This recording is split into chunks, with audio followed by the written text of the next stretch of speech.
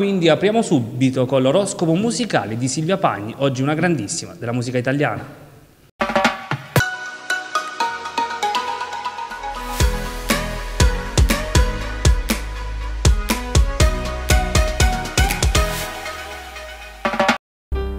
Bentornati cari telespettatori all'oroscopo musicale. Sempre sotto il segno dell'Ariete nasceva una grande cantante italiana e compositrice, nota per aver composto un brano dedicato esclusivamente alle donne.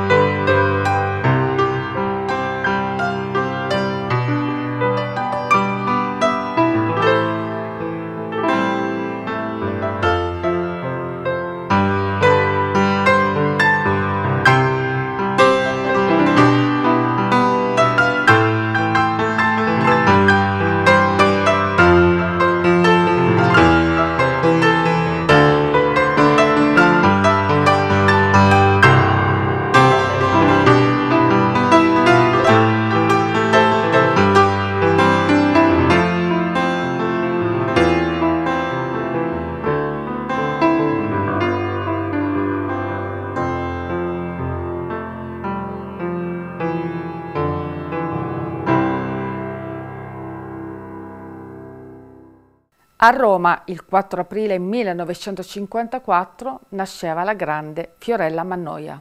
Figlia del standman siciliano Luigi Mannoia, la mamma era marchigiana. Loro portano Fiorella ad avvicinarsi al mondo del cinema come stand woman.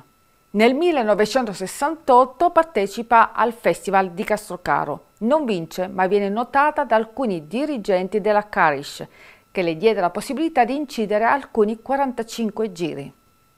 Nel 1970 conosce Mimmo Foresi e così firma un contratto con l'IT, ma nel 1972 c'è un cambio di rotta perché la RCA italiana la vuole nella sua scuderia.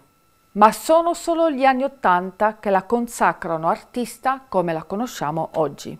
Nel 1980 infatti firma il nuovo contratto con la CGD, e qui ci sarà la sua prima incisione molto fortunata con il brano Il pescatore con il grande Pierangelo Bertoli. Negli anni successivi Fiorella Mannoia collabora con grandi personaggi di alto calibro, dove nel 1987 la vediamo al Festival di Sanremo con il brano Quello che le donne non dicono. Non vince, ma vince il premio alla critica, un brano scritto da Enrico Ruggeri che era destinato alla grande Fiordaliso. Nonostante fosse arrivata all'ottavo posto, questo brano rimarrà alla storia perché è un grandissimo brano dedicato anche a noi donne. Un'altra vittoria nel 1988 al Festival di Sanremo con Le notti di maggio, brano di Ivano Fossati, eh, vinse solamente anche qui il premio alla critica. Però con questo brano, Le notti di maggio, Fiorella vinse la prima delle sei targhe del premio Luigi Tenco. Nel 1992 esce un album, Treni a vapore, album scritto in collaborazione con Ivano Fossati, Francesco De Gregori e Enrico Ruggeri. E nel 1993 viene pubblicato un'antologia, prima etichetta della Arpo, della stessa Fiorella, che offriva tre inediti reinterpretati del decennio precedente.